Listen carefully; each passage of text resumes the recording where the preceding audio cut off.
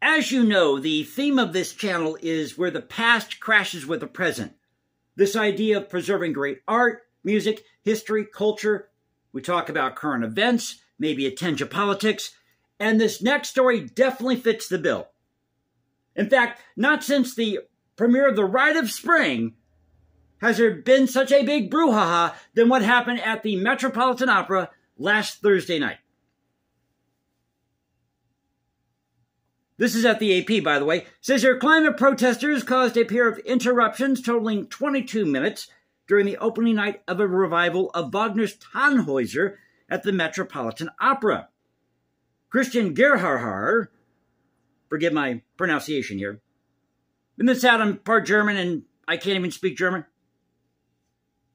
I believe it's Christian Ger. It's G E R H A H E R. You can correct me in the comment section below. A baritone making his Met Opera debut was singing Wolfram's second act aria on Thursday night, in which he says, quote, Und sei mir zeget sich ein Wilderbrunnen. Before me a miraculous spring appears.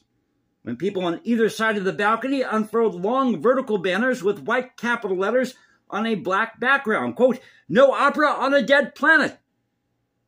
Oh, I would have loved to have been a fly on the wall at this one. And this was on the north side of the 4,000 capacity auditorium.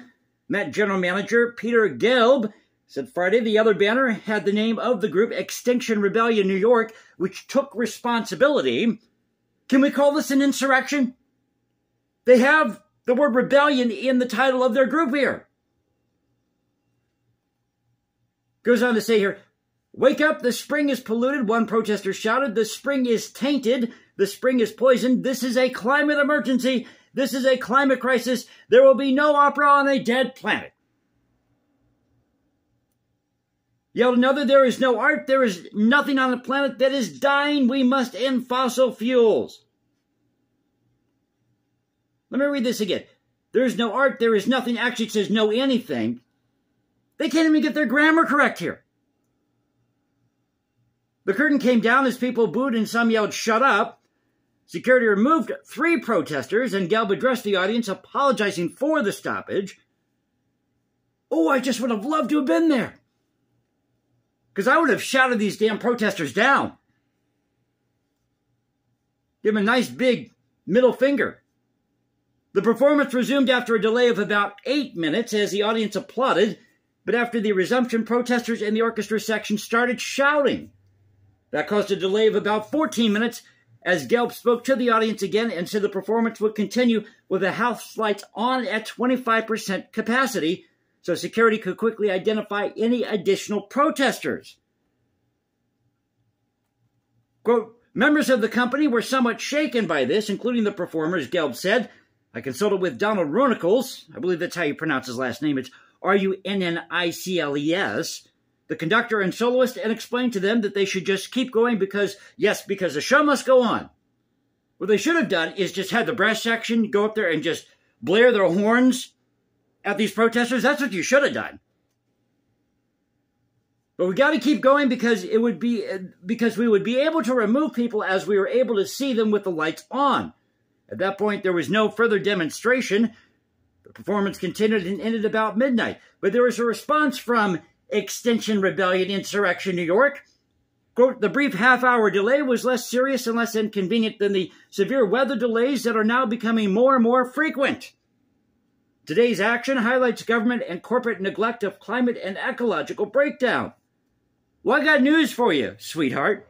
You climate protesters saying no opera on a dead planet. I've been around quite a bit. I'm 40 billion years old. And I've lived through hurricanes. In fact, I experienced a mild earthquake in California, two of them. I think 4.4 on the Richter scale. I've experienced wind living on the northern high plains. I've seen it all. And I'm still here. And guess what? There's not a damn thing you climate protesters can do to change it. We live on an active planet. I mean, these people are the bottom of the barrel. And I am all for clean air, water. So please don't write me in the comment section below and say that I hate the, uh, the climate. I hate the environment. Our key institutions, corporations, and governments function according to quarterly profits and the election cycle, respectively, like you protesters don't. Who is funding this group? That's what I'd like to know. Without regard for the long-term dangers to our survival, this system is designed to steal for, uh, from future generations, pardon me, in order to maintain a lifestyle that benefits the 1% to the detriment of everybody else. Gelb said the protesters were handed over to the police. There are seven additional performances through December 23rd of the 1977 Otto Schenk production, which stars Andreas Schager. The title role in the cast that includes Elza van den Heever as Elisabeth, Ekaterina Gubanova as Venus, and George Zeppenfeld as Hermann. The final performance will be broadcast on radio worldwide. Can you imagine if they have this final broadcast here and all these climate protesters show up? Hear that on live radio? Oh, that would just be so delicious. Everybody screaming at these protesters, get off the stage, get off the stage. So I hope you enjoyed the video. If you did, you know what to do.